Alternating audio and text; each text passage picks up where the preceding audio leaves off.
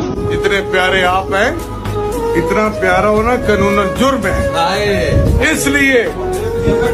आपको हमारे दिल में उम्र कैद की सजा दी जाती है